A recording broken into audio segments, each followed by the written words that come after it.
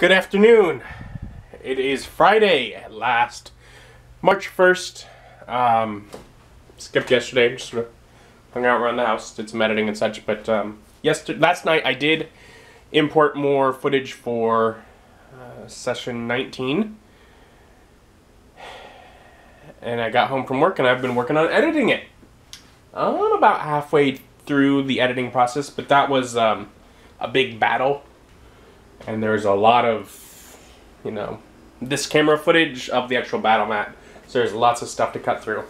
So it'll be quite a bit. Also, it was the three hour long battle at that. So um, it's a long one. Still, the goal will be to edit that. Yeah, so I'll have to get that done. But um, otherwise, I've been working on that for a bit over an hour. And I'm like, I want to step away from it and take a breath. Just relax. Maybe even edit a vlog before I go back to it, because, uh, I mean, really, I mean, I could export it overnight, but it's going to take longer than that to export. So it might be better just to try and get it done and export it, you know, on a day that I have work in the morning. We'll see. Anyways, I want to talk about the Artificer. And this is the third artificer. Um, Dungeons and Dragons puts out an Unearthed Arcana about every month, and they have since the game was pretty much new. The first of those Unearthed Arcana was, um, I believe, February of 2015, if I noted things correctly here. And that was for Eberron, and that included the first version of the Artificer, which was as a tr wizard tradition. It was alright. It was alright. Um, and then, I believe, J early January of 2017, they came out with the second version of the Artificer, which was its own standalone class. Not bad.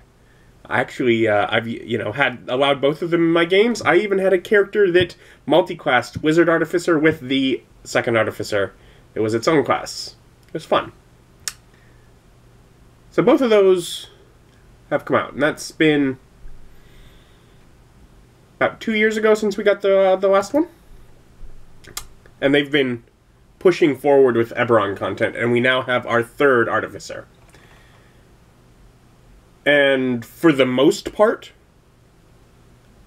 it's pretty good. I'm just kind of gonna scroll through the document and you know make points. Um, I mean, for for one, the class like has like little blurbs and stuff. Like, it's coming together as a full class. Um, as far as proficiencies, you know, as may expect, they uh, they do have a note for firearm proficiency in games that have firearms. So they specify that artificers can use those if they're around. And you start with magical tinkering, which is basically what could be its own version of a prestidigitation, thaumaturgy, etc. kind of kind of spell. Only they made it a class feature. A little more specific, but fine. Um, they have what I believe is its own unique spell progression, where they start with spellcasting from first level but don't have full progression. I don't I don't think anyone else does that. I think we only have the ones that are, you know, start at first level full progression, start at second level as a druid or paladin with a half, or start at third level as a fighter or rogue and have third. Um, this is its own unique progression, but then it also does infusions, and it's because the class is doing a lot. I like spellcasting is, you know, using your tools and such, some sort of artisan tool as your focus and they note, you know, they have like a little box of the, yeah, if you just want to say I cast my spell, that's fine, you can do that. But you can also, you know, expand it. Um, you know, explain, you know, what you're tinkering with to make this, you know, happen, and it's cool. Encouraging players to put some thought into that part of their character. I will note is kind of an interesting spell list in that it's going, you know, it has a lot of the more wizardy kind of things, plus a few healing options. So I like I like that. It's a nice list. Second level, they get infusion infusing items, but we'll detail that at the end because all the actual infusions are at the end. But basically, it's making make your own temporary magic items. Uh, you get your specialization at third level again, closer to the end because those are at the end. But the main features moving forward for Artificer, you know, better at tools, arcane armament, which is extra attack, but only if made with a magic weapon. So it's just a limited version of extra attack. At fifth level, hopefully you have a magic weapon, and as an artificer, you will to be able to attack with. It's not really a restriction, other than perhaps you can't be disarmed, pick up, you know, random weapon as you're breaking out of a jail, and then instantly have that work. You'd have to apply your own powers to make it a magic weapon in order for it to work. But sort of a restriction, more of a flavor kind of thing. 10th level, uh, you get to, on your rests, uh, replace a cantrip, you know, like switch out your cantrips, which makes this a class that isn't stuck with the. like Because any other class that, you know, gets to prepare things at different times, you know your cantrips, though. This one, you get to swap out your cantrips, even at short rest. So that's, I mean, that's a cool feature that makes the class definitely different. 18th level, you get, you know, a spell storing item, which basically is I can make this item and the first or second level spell.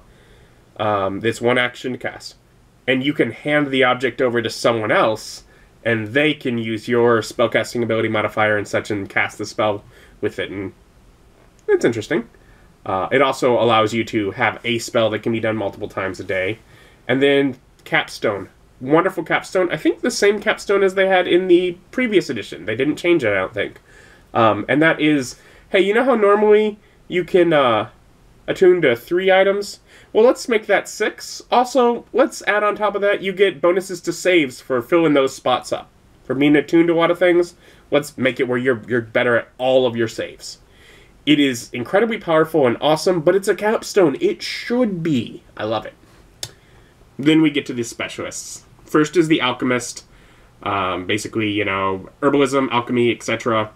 Uh, both of this, and then the other is let's just do both. Is the artillerist, which is wood carving, smithing, etc.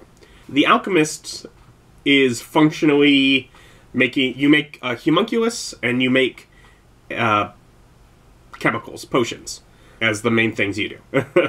uh, each of them get their own list of you know here's some extra spells that don't count against your, your allotment that you always have prepared, so to help flavor them accordingly. For the Alchemist, Homunculus is awesome. You make this little construct. It's not incredibly powerful, but it's kind of cool and can do some neat things, and it sounds like a lot of fun flavor. And then you get certain things like Lesser and Greater Restoration. Whenever you're doing things that restore hit points or deal acid or poison damage, you're better. Some resistances and such simple, but whatever. Uh, artillerist, you are using wands, is kind of the idea, and then turrets. It's sort of the wand turret kind of guy. You know, wands taking the place of where the potions would have been on the other turrets taking the place of your homunculus. You like literally throw out a turret that you use like your bonus action, like have it, you know, shoot a beam or flamethrower, put up a defensive field. And then as you get higher, like you can like fortify a position it sounds cool, but the thing that that's crucial to me between these two is that neither of them are gunsmith. And in the previous Artificer, we had gunsmith, and I loved not necessarily the uh, how it was executed, but I loved the flavor of gunsmith. And so I hope that we will get that in addition. Now, maybe the idea is let's have both of these plus a gunsmith. So if you want a world that doesn't have any guns, you can still have you know, an artificer with these options and then, you know, just not include the gunsmith option. But I. Come on, where's gunsmith?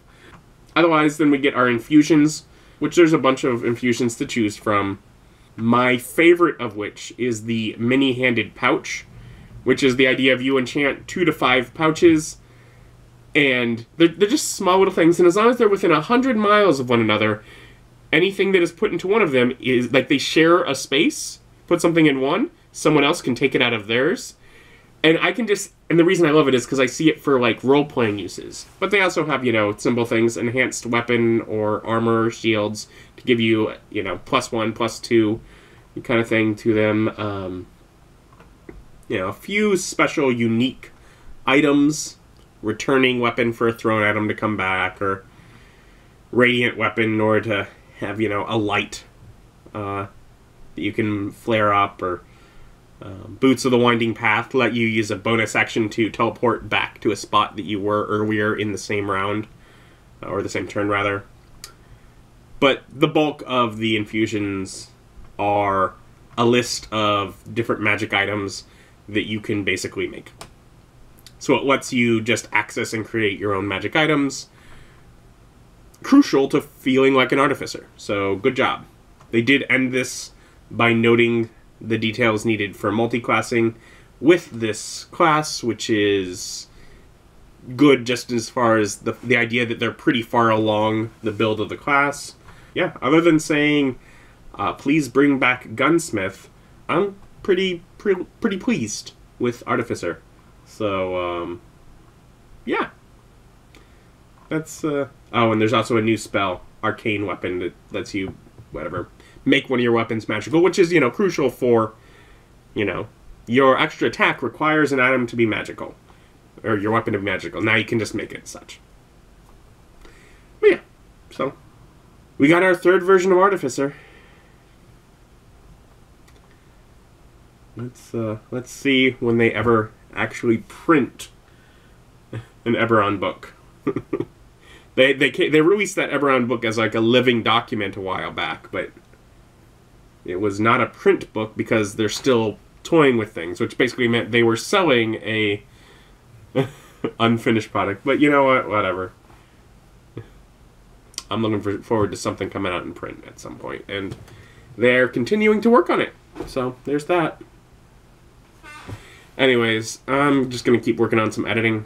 That's probably about it for today. Thank you for joining me. Joining me as my journey continues. Bye.